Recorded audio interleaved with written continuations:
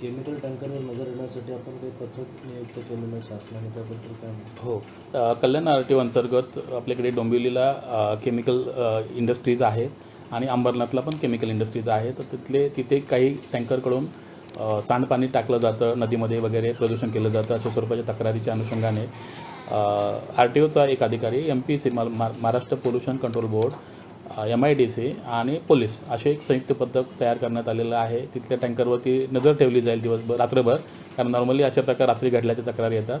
नदीमध्ये जर कुठे असं सांडपाणी सोडल्याचं जर आदर्श आढळून आलं तर त्या टँकरवरती अतिशय गंभीर गुन्हे दाखल होतात. पर्यावरणाचं नुकसान केल्याचे. तर हे पथक आता इथून पुढे कार्यरत राहील कंटिन्युअस किती कशी नजर असणार आणि काय? नॉर्मल रात्री जे टँकर रात्रीचे प्रवास करतात ना ते कुठे जातात रात्री? त्याच्यामागे नजर ठेवली जाईल.